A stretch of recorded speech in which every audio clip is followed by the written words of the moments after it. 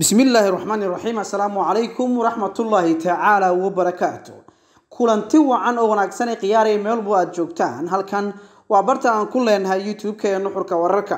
Haddii aad nagu cusub tahay waxaan si sharaf iyo karaamo leh kaaga dalbanayaa in aad ka mid noqoto saaxiibada nagu xiran.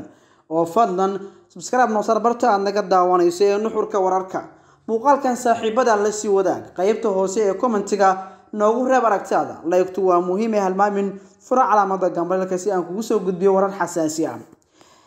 Waxaa maanta xafiiska uu ku leeyahay magaalada muqdisho wasiirka wasaaradda amniga xukuumadda federaalk ah ee soomaaliya cabdulaahi maxamed nuur uu ku qaabilay hooyada dhashay marxumed sargaalad ikraan tahliil faarax oo ahayd gabar u shaqaynaysay hay'adda nabad sugidda iyo sirdoonka qaranka soomaaliya ee nisam gabadhaas ayaa la waayay lix iyo labaatankii juun ee sanadkan laba kun kow iyo labaatan. Xilli gaarin la sheegay in laga leeyahay hay'adda nabad sugidda iyo sirdoonka qaranku uu ka qaaday meel aan sidaa kaga fogeyn gurigooda oo ku yaalla aagaarka taliska hay'adda nabad sugidda iyo sirdoonka qaranka ee habarqadiijo loo yaqaano. Intaas kadib hooyadan oo meel waliba u istaagaysa baadigoobka gabadheeda ayaa eedda ugu weyn dusha waxa ay ka saartay hay'adda nabad sugidda oo ay sheegtay in ay dishay maadaama kol hore gabadha ay isku qabteen oo u hanjabay kulanajiis oo ah shaqsi saameyn xoogan ku leh hay'adda nabad sugidda iyadoo sidaas ay tahay oo meel waliba la istaagayo islamarkaana eedda ugu xoogan la saarayo hay'adaha kala duwan ee dowladda gaaraan hay'adda nabad sugidda ayaa mar qura waxay laanta af soomaaliya waqtigaas baahisay in gabadhaas ay u gacan gashay xarakada al-shabaab oo jilib meel u dhow lagu dilay hay'adda nabad sugidda iyo sirdoonka qaranka ayaa isla maalinka oo labadii sebtembar ahayd. Waxa ay qoraal lagu baahiyey tv-ga qaranka ku sheegtay in ikraan tahliil faarax ay gacanta u gashay xarakada al-shabaab sidaasna lagu diray intaas kadib dhacdooyin kala duwan ayaa dhacay. Hooyo qaalina waxay weli cadaalad u baadigoobaysaa gabadheeda.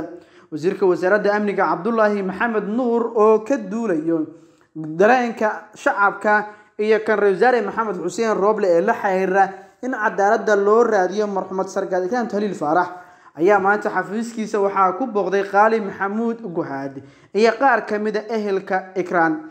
Waxa ay kala hadleen arrimo dhowr ay ka mid yihiin sidii markaasi cadaaladda loo horgeyn lahaa xubnaha lagu tuhmayo kiiska dilka ikraan tahliil faarax wasiirka ayaa waxa u amray si toos ah in ay qabsan karaan dibadbax ay ku dalbanayaan in cadaaladda lagu horgeeyo xubnaha markaas lagu tuhmayo kiiska sargaalad marxuum ikraan tahliil faarax. Wasiir cabdulaahi maxamed nuur oo dhowaan uu magacaabay ra'isul wasaaraha xukuumadda xilgaarsiinta maxamed xuseen rooble kadib xilka qaadistii lagu sameeyey wasiirkii wasaaraddaas amniga xukuumadda soomaaliya xasan xundubay jimcaale xilli uu ku maqnaa safar dhanka dibadda ah ayaa hadda waxa u muuqda inuu qaadayo tallaabooyin dhowr ah oo markaasi rajo gelinayo hooyo qaali maxamuud guhaad iyo ehelka marxuumad sargaalad ikraan tahliil faarax oo la aaminsan yahay in la dilay.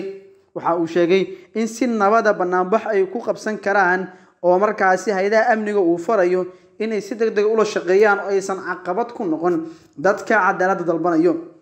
Wasiirka oo madashaas ka hadlay ayaa waxa uu sheegay in ay mar waliba diyaar u yihiin in ay garab istaagaan oo ay caawiyaan hooyo qaali maxamuud guhaad. Waxa uu rajo wanaagsan ka muujiyey in kiiskan maxkamaddu ay gacanta ku hayso ay go'aano xasaasi ah ka soo saarto oo dhammaantood cadaaladda u jihaynaya sargaalad ikraan tahliil faarax. Waxa uu sidoo kale wasiirku sheegay in mar waliba ay wasaaraddu soo dhoweynayso go'aan waliba oo xal loogu helayo in cadaaladda ay hesho. Si farsamaysan ayuu kula hadlay madaxweyne maxamed cabdulaahi farmaajo iyo xubnaha kale. Waxa uu sheegay in ayna suuragal ahayn in kiiskan oo ah qadiyad ummadda soomaaliyeed ka dhexaysa waqtigan iswarstaag lagu sameeyo iyada oo dana gaara oo shaksiya la eegayo. Tallaabooyinkaas ayuu sheegay in ay yihiin kuwa waqtigan aan suuragal ahayn oo ay diyaar u yihiin in ay garab iyo gaashaan u noqdaan sidii cadaaladda lagu horgeyn lahaa xubnahaas. Waxa uu wasiirka isaga oo hadlaya yidhi bismi illahi raxmaan raxiim waxaa maanta igu soo booqatay xafiiska maama khaali maamada dhashay walaasheen ikraam tahliil faarax iyo xubno ka mida qoyska.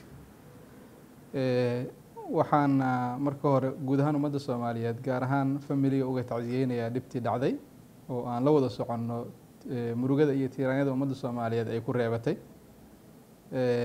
Intaas kadib waxaan rabaa inaan ka cudur daarto marar badan oo xubno ka tirsan qoyska iyo xubno kaloo daneynaya arrimahan maanta iigu yimaadeen. Igala soo xiriiray ama iigu yimiday oo aan runtii wakti wanaagsan isu weynay ama aan jawaab cad ka siin waayey in muddo ah cudurdaar ayaan ka bixinayaa. Sababtuna ma ahayn inaanan rabin inaan ka jawaabo ama aanan raalli ka ahayn. Keliyata waktiga ayaa ii saamixi waayey. Maanta ayaan fursad isu helnay aniga iyo qoyskaba inaan arrintan si rasmiya uga wada sheekeysano kana doodno. Qoyska oo igu horeysa maamadu waxay iga dalbadeen ama iisoo gudbiyeen codsi ku aadan inay sameeyaan banaanbax nabadeed oo ay ku dalbanayaan xuquuqdii ay u raadinayeen ama aan u wada raadineynay walaasheen ikraam tahliil faarax waxaan rabaa inaan u xaqiijiyo qoyska iyo bulshada soomaaliyeed meel walbo ay joogaan inay wasaaradda maaliyad wasaaradda amnigu ay siineyso codsigaas jawaabtiisii ayna u fasaxayso inay sameeyaan dibadbaxaas ay soo dalbadeen. Sida ku cad dastuurka dalkeenu leeyahay qodobkiisa labaatanaad ayaa qeexaya. Muwaadin kasta ee soomaali ah inuu xur u yahay xaqna u leeyahay inuu aragtidiisa u soo bandhigo. Hadday ku soo bandhigo suxura hadday noqon laheeday isu imaatin sida dibadbax nabadeed hadday noqon laheeday inuu si shaksiya meediha u mariyo intaba. Innagoo tixgelinayna codsigooda dastuuriga ah waxaan u fasaxaynaa oo aan sii doonaa fasax rasmi ah haddii allah awoodalay ka raali noqdo qoyska oo ugu horeysa maamadu waxaan rabaa laba kelimood. Hal kelimo inaan ku dhaho ummadda soomaaliyeed ee dooneysa inay sameeyaan banaanbax ay ugu horeeyaan ehelka hal kelimana waxaan rabaa inaan ku dhaho hay'adaha amniga. Kelimadda koowaad aan ku dhahayo ama aan ka dalbanaya dadka banaanbaxaya waxay tahay waxa aan raadinayno ama la raadinayo waa xuquuq. Waxaan dalbanaynaa inayan dhicin in xuquuq dad kale leeyihiin lagu xadgudbo hadday noqon laheyd danta guud iyo hadday noqon laheyd tan gaarka intaba. Marka aan leeyahay tan guud waxaan ula jeedaa sax ma ahan in markuu marka qofkiisu dalbanayo oo ku xadgudbo xuquuqda ummadda soomaaliyeed ay leedahay oo waddooyinka lagu shi lagu shido lugo in la gubo oo deb la saaro marna sax ma ah.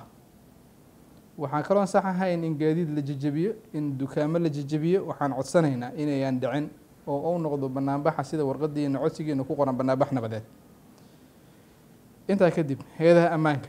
Hay'adaha ammaanka waxaan farayaa inay sugaan amniga muwaadiniintaas sida dastuuriga ah u soo u soo u soo dalbaday inay u sameeyaan banaanbaxaas nabadeed. Waxaan u arkaynaa cid allaale iyo ciddii ka hor timaada ama kaalmeyn weyda ama qashqashta inayan waxba ka duwaneyn cid dhibaatada geysatay. Waayo waxa ay dalbanayaan waa xuquuqdoodii dastuuriga ahayd ma dhici karto in la qashqasho sida mararka qaar dhici jirtay mana aqbalayno. Waxaana shacabka soomaaliyeed guud ahaan u ballan qaadayaa hogaankayga hoostiisa inaan lagu dulbin gaar ahaan hay'adaha hoos yimaada hadday noqon lahaayeen hay'adaha amniga ee wasaaradda amniga hoos yimaada. Sidaasi lamida waxaan mar kale ku celinayaa in ehelada iyo dadka muwaadiniinta soomaaliyeed soomaaliyeed ah ay dadaalaan oo ay taxadiraan oo ay ka fogaadaan wax kastoo keeni kara. In xuquuq dad kale leeyihiin lagu xadgudbo hay'adaha amnigana waxaan farayaa fariintaas adag. Waxaana idinku dhiirinaya idinna ballan qaadaya inaynan dhici doonin falalkii dhici jiray. Haddii falal noocaas oo kale cayd isku daydana mas'uuliyaddaas anagaa qaada annagaa qaadanayna farahana ka laabamayno dabcan hay'adaha ay quseyso ee qeybta nagala ah amnigiina in la sugo waxaan ka yeelan doonaa shir.